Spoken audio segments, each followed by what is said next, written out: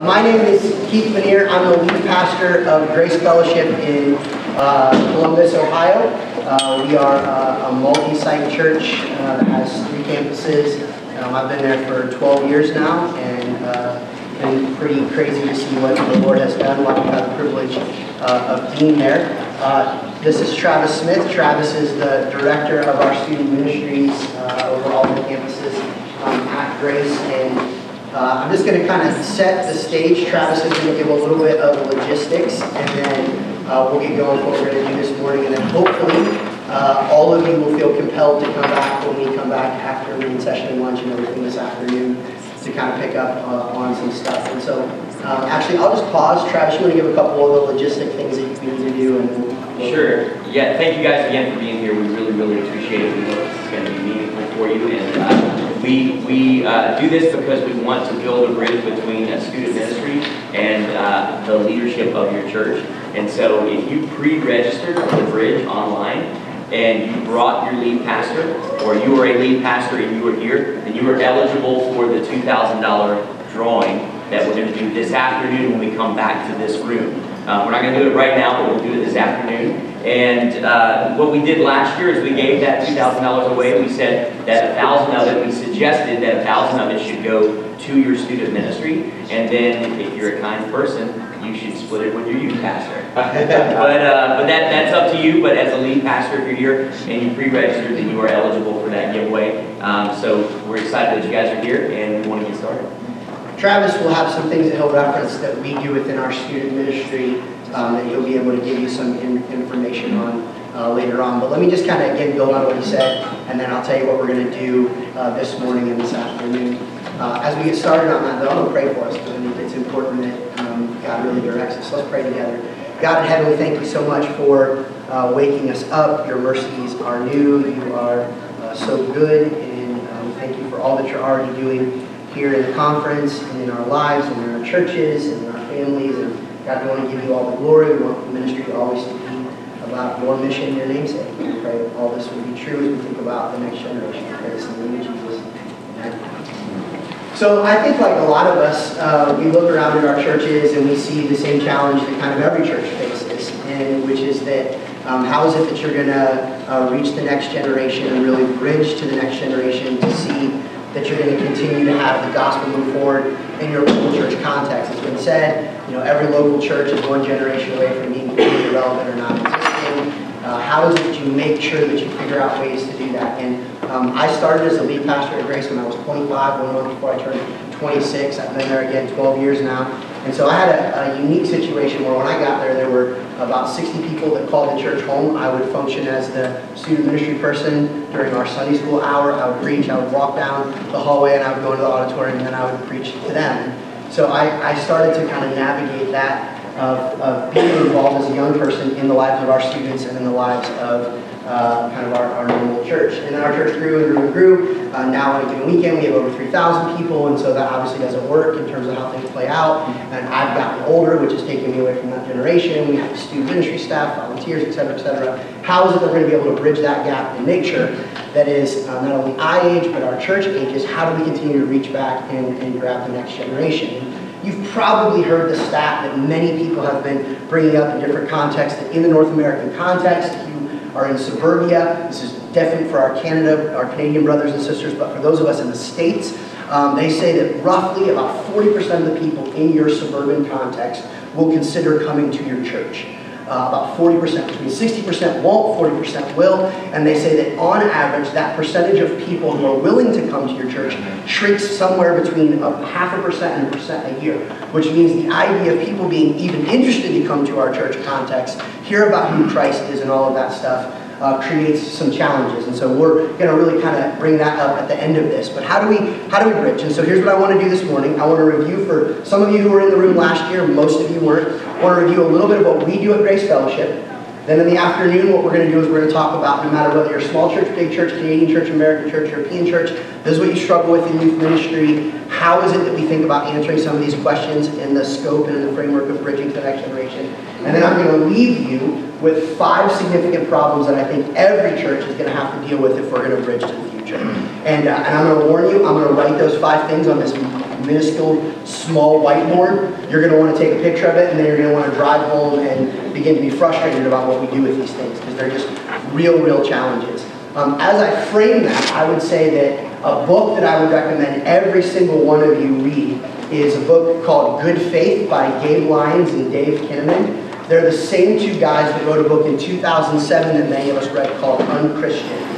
Unchristian was basically a book where Dave and, and Gabe and the Q Network, if you know that network, phenomenal resource online that I encourage you to use, uh, brilliant stuff.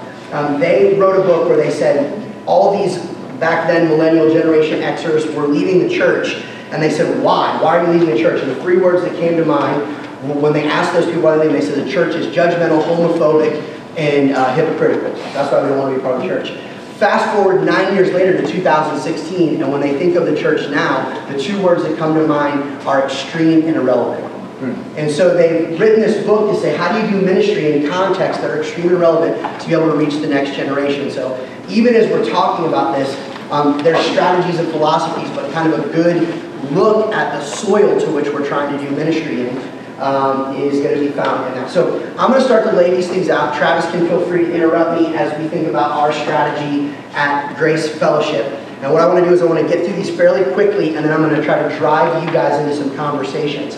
There's a lot of different things strategically that we could do when we think about bridging between our student ministry and our, um, our kind of our church at large. It's the same problem that has existed for years silos where people go through student ministry, then leave, check out, they don't feel like it's their church, they never come back. How do you bridge that? What do you do uh, to try to go after that? I'm going to tell you what we do. It doesn't mean it has to be what you do, but you need to be thinking about it intentionally, strategically to say, are you really trying to solve this problem? Uh, and as I lay these out, I know there's probably going to open up questions. Some of you in student ministry are going to go, there's no way my senior pastor is going to do that. Some of you are senior pastors are going to need to go, am I humble enough to hear this from somebody in my student ministry to maybe change some of these things?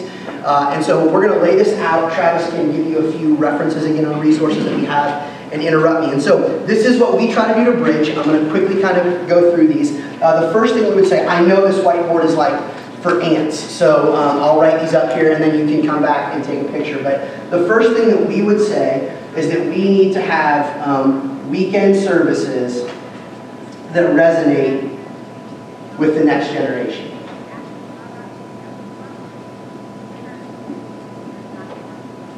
So we would say, wherever your church is, whatever you're doing, you need to ask yourself, are you creating weekend services as you think about weekend services, if you have, when you have your weekend services, however, if they're week, during the week services in your context, whatever it is, do they actually resonate in a way with the next generation? Um, and a lot of that is a complicated conversation about getting people that are in the generation before to die to self. Some of it is how do you make sure that you uh, are strategically thinking about what it is that they want and how they go after that. But primarily what motivates this is evangelism to reach the next generation. Uh, and I'm happy to speak to some of the ways that we do that and what that looks like, but here's what I want you to ask right now in your mind, and you're going to end up kind of thinking about this. If you are a, a lead pastor in this room right now, does the average 17-year-old in your church like your weekend service? And I don't mean like, like they're like, oh, it's fun. I mean like they feel like they get fed, they feel like they can worship, they feel like they can take a step forward in their faith. They feel like they could invite a friend. And here's what I'm going to tell you right now your 17 year old doesn't want. Your 17 year old does not want a junior varsity version of church through their student ministry. Yeah, they don't want it. Those days are gone. The idea that they're going to come and interact with something that is second rate and less it's like, why would I want to go to the JV version where the person is kind of talking about stuff that makes sense and we play a little bit of games? And, and here's, here's what I'm going to tell you in a suburban context, particularly like where I'm at, where people, there's income and people are driven and they're busy and they don't have much space on their Legos, if you know that illustration and all that. The reality is, people, when they show up for church, they don't go to um, they don't go to get training to be a better basketball player and, and go and uh, ask their basketball trainer to play games with them for 20 minutes before they actually do other stuff. When they show up for basketball training, they want basketball training. When they show up for biblical training in church, they want stuff that actually moves them forward. One of the number one things we hear from the next generation behind us is stop treating us like kids. And I don't mean that they're not kids, but they say stop killing time with us. Yeah. Bring us into a context where stuff makes sense. And that includes our weekend services. We have to quit pretending that they're going to go to college and want to come back to a weekend service that does not resonate. We have to find a way to have. So, number one, as a lead pastor, are you secure enough to have that conversation? Number two, if you're a student ministry worker here or a youth pastor here, do you have the guts and honesty and authenticity with your and relationship with your lead pastor to go have that conversation? Because here's what is not tolerable for me between he and I's relationship. I'm not gonna, I'm gonna be very angry and upset and hurt if he has thoughts about what's going on and he's not telling me them, and then he's complaining about them or frustrated with other people. And on the flip side, he should be very frustrated and concerned with me if I wouldn't ask him, are we helping his ministry? And so a lot of the problem with this bridge, let's just be frank, is our relationship between our lead pastors and our student ministries is not as honest and as healthy as it needs to be. Yeah. So we need to have some real conversations about uh, what that looks like. The second thing that we've made a huge decision in our ministry with students about is about groups. Um, we don't have a large gathering student ministry uh, like weekend service for our senior high students. We don't. So 9th through 12th graders, if they are going to worship on the weekend in a service, they come to our service. They don't come to something on their own. And then the way they have community and the way they take their next steps in discipleship and ministry is they have to get in a group. Groups are the fundamental baseline part of our student ministry from, from 7th grade on. And here's the thing I'll tell you. We're a big enough church. We have the resources to pull off a pretty good weekend show for our students if we wanted to. Hmm. But we don't. We want to drive them back to number one so that they feel like it's their church, and then we want to put them in groups where they have the dynamic to grow on a deeper level with one another and actually do ministry and community uh, together. Um, number three, we would say that it's also really crucial that we figure out how to get students, particularly high school students, serving in our churches as soon as possible. So one of the reasons we don't have weekend stuff for our students outside of their groups is because we want them to attend a service and serve in a service. So we want them to serve in our children's ministry. We want them to serve with maybe other junior high students. We want them to serve in our cafe. We want them to serve at the front doors. We want them to serve in the parking lot. We want them to serve in the band. If our high school students are good enough to play in our band for big service, they do. They do.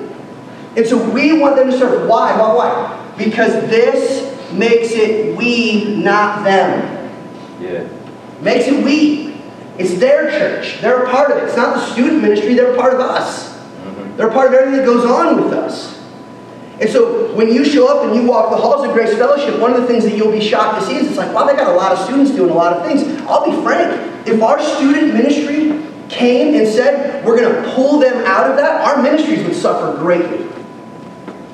Because they're in the nurseries, they're in the toddler rooms, they're with the junior high students, they're in the parking lots, they're in the band. And why? Because then when they come home at college, then when they come back after college, it's somewhere they already feel like they own and feel like they're a part of and they serve and connect with. Right? Am I making sense with that? So they're involved in that and then they own that. Number four. Do you want to add anything? No, no, I, I, I think and, and the reason that we focus on this is because we think discipleship is the key. We think that, that getting students discipled is more important than having a big party room. We think that if you're going to put them, if they're going to have a relationship, whether you're whether you got 10 kids here today or whether you've got a thousand kids, it doesn't really matter. Every kid needs to know Jesus, and every kid needs to have a relationship with an adult. And you you've got to get focused on discipleship.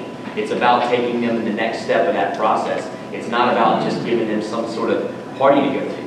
They've got to be they've got to be a group. They got to get real. Jesus teaches us how important it is for us to serve. We got to get our kids serving in our churches. And we got to get them belonging to something that, that they feel proud of and they can invite something to. Next one that we do is we really focus on out of groups, how do we get the right kids with mentors, with mentorship. So uh, it doesn't happen with every student in our student ministry for sure. But the kids that we would say are fat, uh, that sounds terrible, but it's an acronym, Faithful, available, teachable, you've probably heard that before. Faithful, available, teachable people.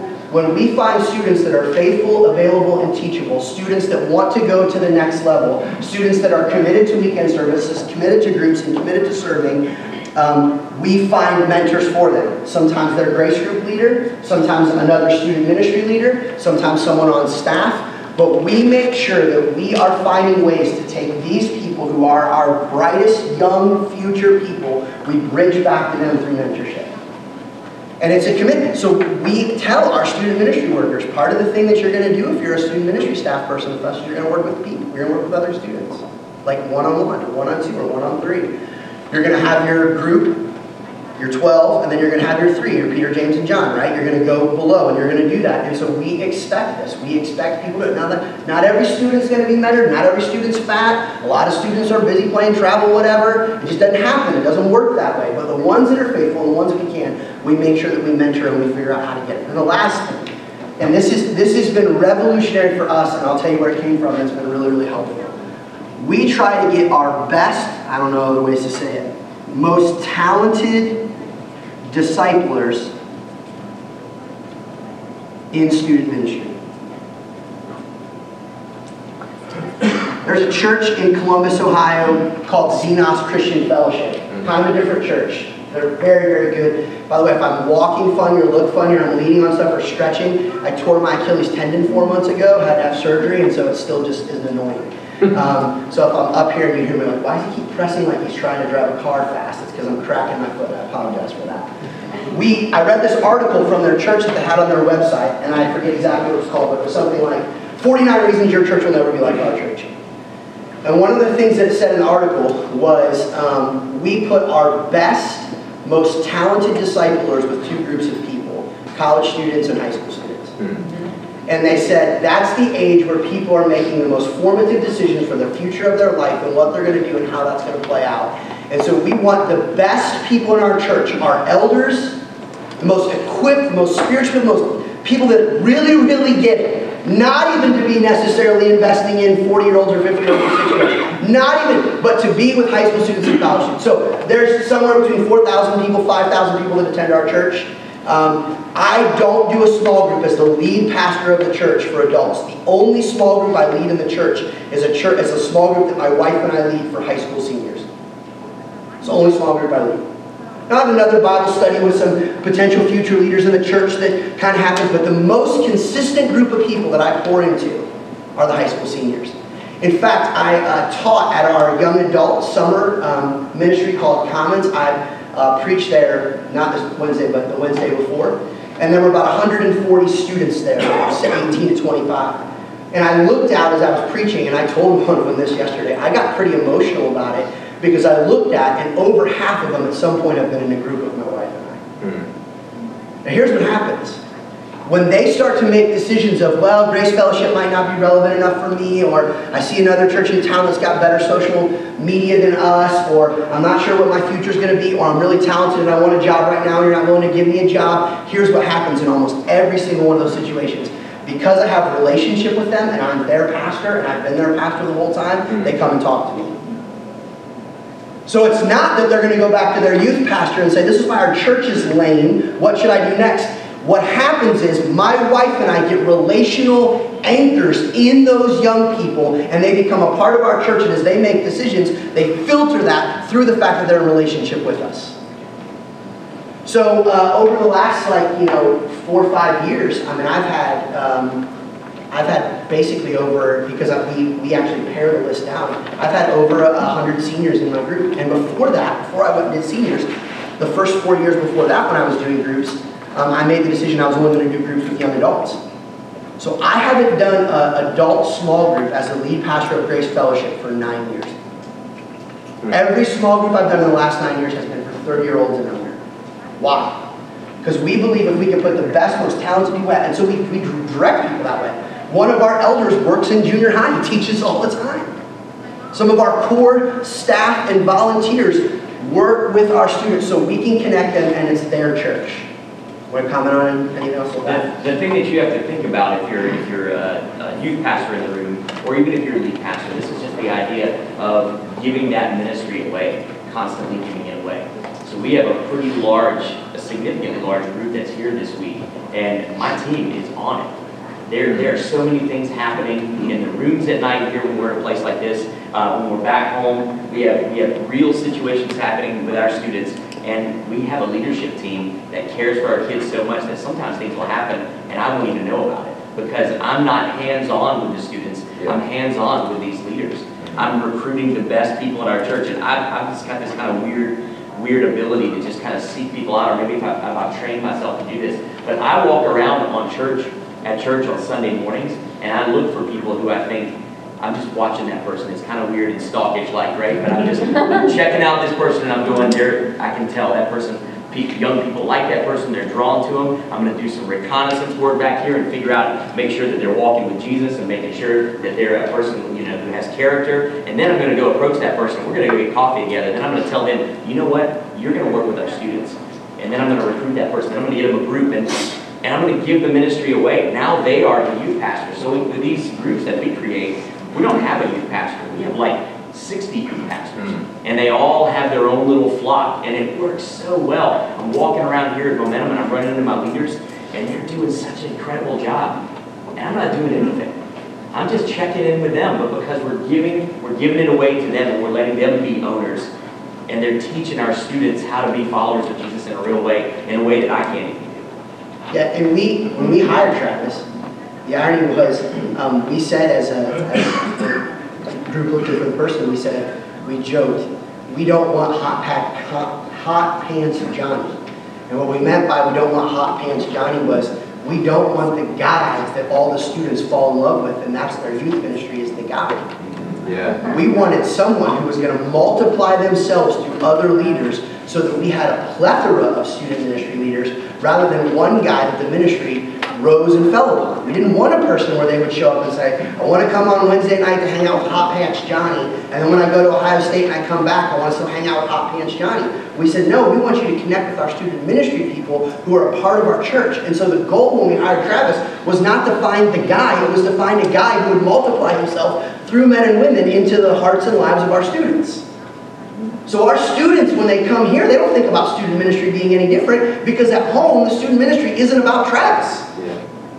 It's about the team that's been built, and we've intentionally built that team, and then we've intentionally connected that team to say, how does it do this to bridge backwards all the way to where those people are pushing them to our services that make sense for an 18-year-old? It makes sense for a 16-year-old. I can't tell you how many people have come up and their, their parents have come to me and said, hey, the reason we decided to stay at church, the reason we decided to stay at Grace was the ministry here that you were having on the weekends resonated with my teenagers. Mm. And then those students get built into the hearts of our church and they move forward in such a way, again, that when they serve, it becomes we and not them. And then when they come back, they're deeply connected. Okay. And I'll say this too. If you're here and you go, well, that's great, but you guys have a big church and you guys got a lot of groups and you guys have those kind of resources or whatever, and you go, we only have 10 kids in our, in our church or whatever. Well, maybe, maybe you don't you don't you don't have the kids or the, the amount of students to go you know, create a bunch of small groups, and, or maybe you've got some students who are in 12th grade and some who are in 7th grade, and you're like, I can't put them all in a group together because they're just, you know, the margins are so big across how big they are. Well, maybe, maybe think a bit different. Just go, okay, well, I got 10 kids that go to my church, or 15 or whatever. That means I need 15 relevant adults to go do one-on-one -on -one discipleship with each kid. Mm -hmm. There's a, there's, a, there's a different way to do it based on size of your church. Just because you don't have a, you know, a giant student ministry doesn't mean that you have to, have to do it the same way we do. You can say, well, the fact that we have fewer people is actually a, a plus. That means we can, we can create a relationship, one-on-one -on -one relationship with every kid in our church. Now the, the hard part, I'm, maybe I'm not looking for group leaders, maybe I'm looking for one-on-one -on -one mentors, and I want to give every kid a mentor because we've only got 20 kids.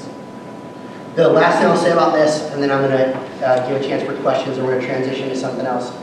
What this has done for us, this last one, number five, is it's made those people who are leaders in our church um, better preachers, better leaders, better missionaries of the culture because it forces them to stay connected to the next generation. Yeah. So what happens when I'm leading a small group with high school seniors every week is I'm being forced to contextualize the high school seniors because I'm listening to them talk. So I'll just say to them sometimes, my wife and I'll say to them, hey, what's the most popular show y'all are watching? What's the, what's the app that you guys are using more than any other app? What's the thing that's driving the conversation at school these days? What do you guys really think about homosexual marriage? I- And I have free audience into this next generation's hearts and minds to be able to take that and shape it into our weekend services. Which, by the way, then affects my ability when I'm preaching to their parents on how their parents can be effective to them. Because it's making me stay, and I tell them this. It's one of the very first things I say in one of the very first gatherings with them. You guys are helping me stay younger. Tell them that. You're helping our church stay healthy and younger. By on purpose us investing in you guys and making okay. Let me pause. Here's what I want to do because we got about 20-ish minutes left. I want to just take a couple minutes for questions. Hold on, buddy. A couple minutes for questions. After that, what I'm going to do is I'm going to ask you to break up into some groups. And when I want you to break up into groups, I don't want you to be with someone from your church. I want you to go in a different environment, in a different uh, world. And what I'm going to ask you to do, and I'll coach up when you get there, is I want you to look at these five and I want you to ask, what's the one you really think you need to go back and fight for? What's the one that you go, I, we got to change, we got to address? And the reason I don't want you to be in groups is maybe you're the youth staff person and your lead pastor's here and you're not really comfortable telling them that yet. But I want you to be honest in the group right now. We'll do it in a second. And I want you to say, which one of these five do you say we must go back and put a larger emphasis on? We must get better. Maybe you're already doing groups, but you hear this and go, we got to shatter it. We need to do it better. We need to make it more important. Okay, I'll emphasize that quickly. About three, three-ish minutes. Questions about these that you hear? Yeah, Um, yeah, just a quick question. You, I know you guys have talked about this, and I'm still trying to figure out how to communicate this. One of the biggest obstacles I find in communicating vision with people at large in our church or even leadership is the, the conversation about margin in students' lives. And so sometimes what I get is, well, we just need to have a plethora of things available to students um, in terms of events, youth groups, small groups. Everyone's a fan of small groups, but to actually make that an emphasis seems to be an obstacle for people because they want they want small groups and big groups every week. Yeah. So I I am seeing the little little margin we have in the students' lives, but that's difficult to communicate sometimes to people. So how are you guys doing that? Yeah, we, we actually had this conversation, obviously, and we, we decided this. I'm going to boil down a lot of conversations in prayer to this. Um, we said we're going to force people to choose what they prioritize.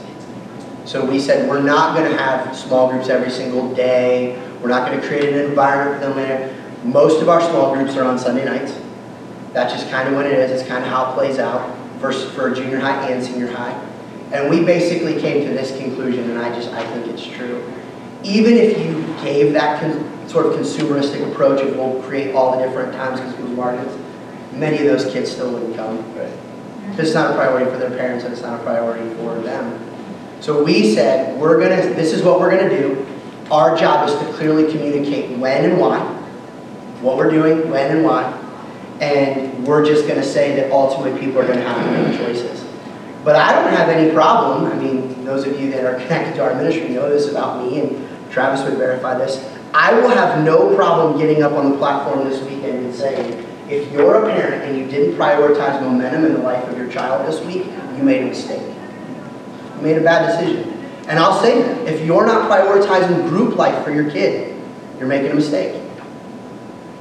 And a lot of that is just, you know, we, I'm a college, I played basketball here at Cedarville. I'm a college athlete. So I understand the value of athletics in my life.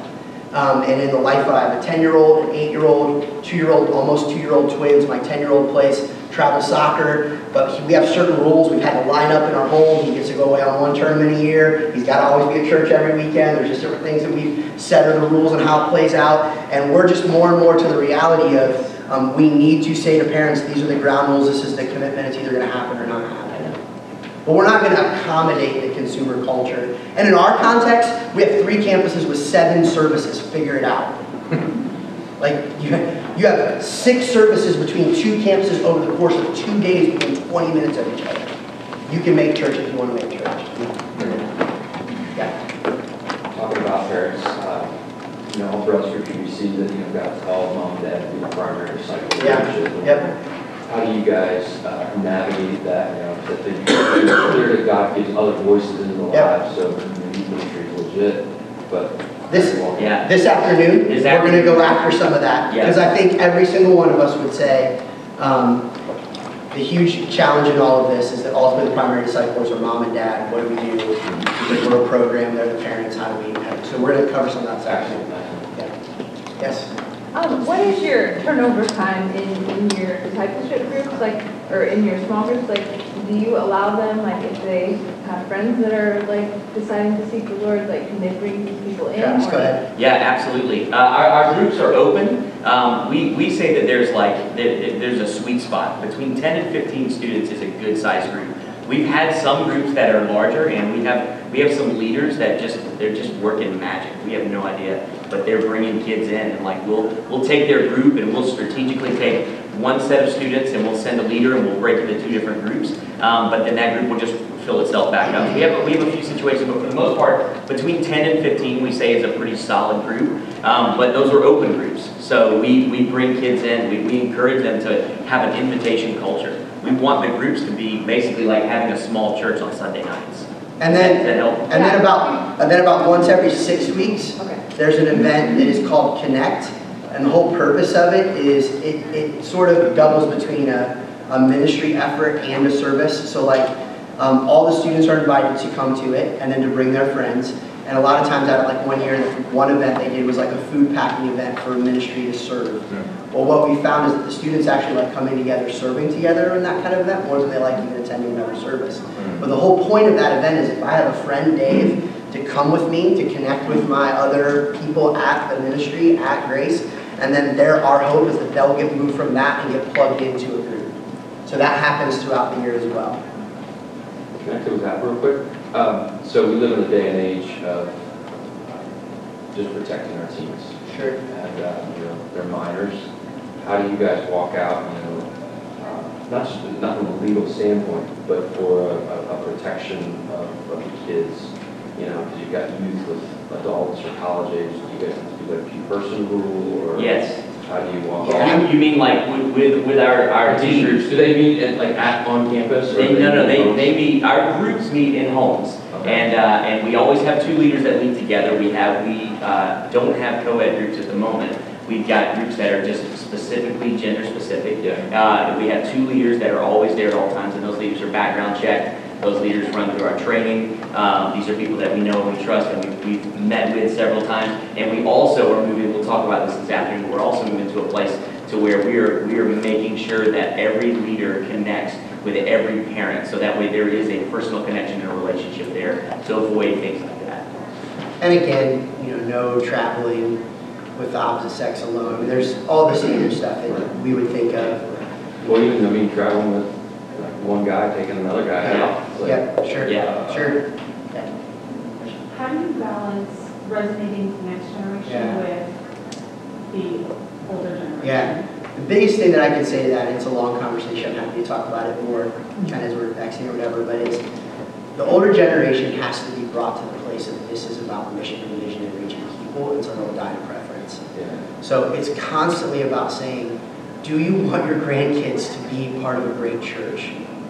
And if the answer to that is yes, then you gotta give some, you gotta give some stuff up. And it's not that we don't love you, we don't value you, we don't want to create for you, but the heart of the conversation is about mission. It's about mission, it's about vision. And helping them sometimes understand some sociological things that trends change faster. And, you know, it's just a different world, it's not as, um, morality in churches as important as it once was in our culture and all these things. And so we have to kind of do things different as we're pushed to the margins of society. And, but the biggest thing is mission and vision. And I can tell you, I've had those conversations in my office or over coffee or in Bob Evans hundreds of times with lots of people. I think the music's too loud. Let me tell you why the music is too loud. I hear you. And there are times where it, it's going to feel too loud. But this generation loves anonymity with a path to community. And one of the places they love anonymity is when they show up for music. They don't care about the harmony three parts down or two parts over or three rows in front of them or three rows behind them. They want to be able to have a time with just them and just their space with anonymity until they feel like they're connected. And so we need to create an environment that drives anonymity. I've done that a few times. And so you have to have those conversations over and over and over about mission and vision and mission and vision and mission and vision. And so to the point where like I'm explaining to someone on a napkin this is what we run our decibels at, and this is what unsafe decibel levels are, and this is what they used to be run at, and here's what it goes. And so we run around 90, and normally 110 is unsafe, and what it, and like I've explained that, and all of that is mission and vision, and I've looked at people and said, when you look around and you hear that we had 150 students go to Momentum and 30 of them gave their life to Jesus, and part of that is because the context of the church that we create, aren't you grateful for that? Well, I don't argue with that. And there's a point where if they're not, like, this is just hard, but there's a point where if they're not mature enough to deal with that, you have to choose who you lose. You can't be everything to all people because you become nothing to anybody. You have to set a goal. You have to set a perimeter. And my personal opinion is a lot of lead pastors know that we're just afraid. We're just scared. And ultimately, we have to say it isn't about our salaries, it isn't about our people, it isn't about our sheep. We just have to make decisions on what we think is mission. And so Travis has heard me say that Megan and Aaron have heard me say this. We make decisions about mission before anything. We're not going to be governed by fear. We drive that conversation. One more question, and then I got to move to think. Yeah, real quick. Um, you said groups are your strategy for discipleship. Yep. What is your process of walking kids through, um, you know, unsaved, not knowing anything to That's Yeah. a great, that's a great question. I brought two resources, and we'll go, we'll go over those a little bit more this afternoon if you guys come back. We created a student manual, uh, it's been about two years in the making. Um, we have a digital copy that we're, that we're gonna have available for you guys. And if you are interested this afternoon, I'll get you to write your, your emails down, I can give you a digital copy. It kind of talks, it, it's the, this is what I give to every student leader that's a potential leader. I'll give them this and I'll make them read through it. And this is, this is basically our DNA. It's how we work, it's what I expect of them. It's everything that you just talked about, from safety to creating those environments, um, to what I expect, what my expectations are. And then this is a book by Dann Spader called The Four-Chair Disciple, Four-Chair Discipleship. We adopted this book a year and a half ago for our student ministry, and now our whole church uses this for our entire group model, adults, uh, young adults, and student ministry. And it, it's a discipleship path book. It's basically, it talks about how to, how to identify a student or, or an individual or yourself and put yourself in a category. Basically, it's a four-chair process. So chair one is the lost, chair four is I'm, I'm going to go make more disciples. Yep, and so this book will walk you through it. This is what we use to get all of our leaders to walk through that process. So that, that book helps frame it, and then there's just different aspects in our church that are going to drive that conversation.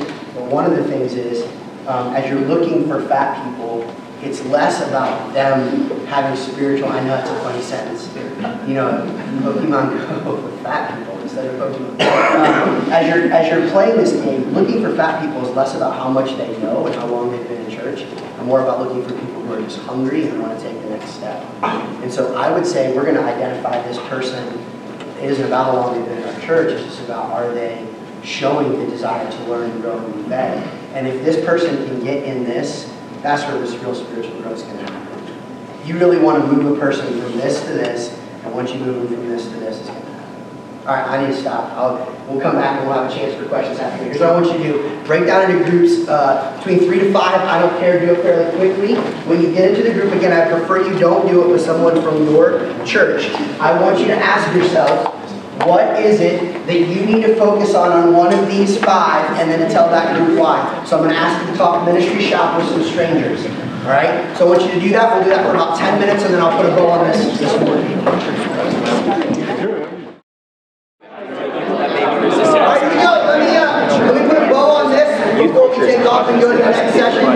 So here's, here's what I would say. Uh, kind of say a couple things to be done. We'll leave this up here. You can take a, if you need to grab like a screenshot of it so that, you're take a picture of it so you have it to think about. Whatever you just said to the person or persons in your group, here's what I'm asking you to say that you'll really do in your soul.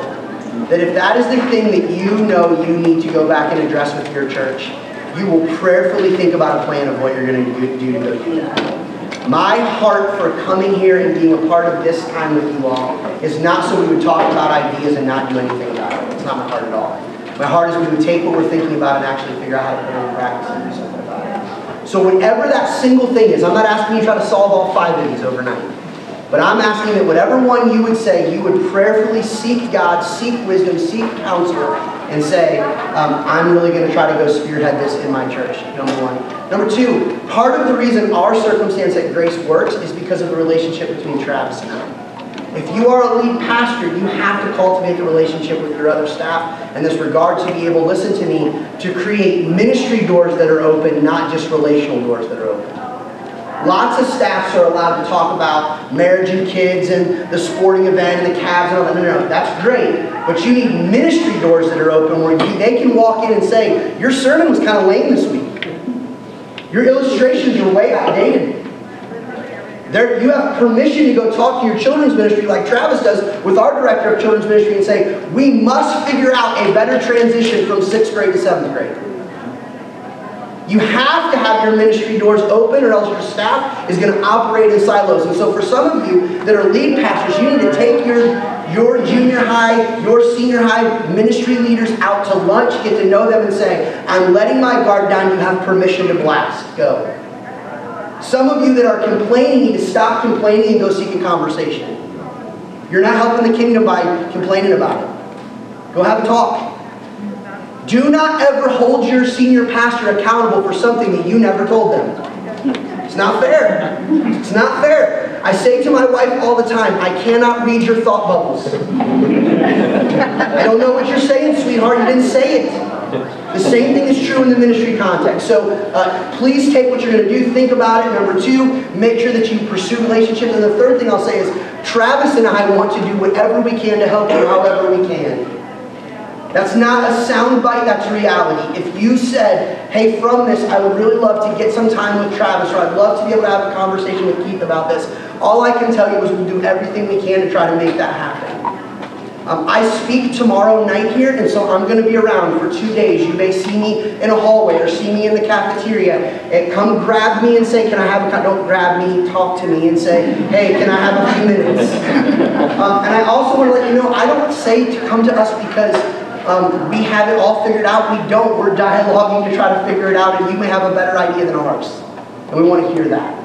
So this afternoon, what we do when we come back is we're going to talk about five things that plague every student ministry. And then we're going to talk about how those things, how what's one thing we clearly can do to actually help them actually be bridges to the next generation. And you're going to help us with that because we're going to break down the groups and do that. And then at the end, I'm going to make everybody sad and I'm going to talk about some of the biggest challenges that are facing all of us as we move into the next generation. And so I really hope that you'll make the time uh, to come back to be a part of that. Um, I'll tell you what, Scott, would you just pray for us as we close? Man, that'd be awesome.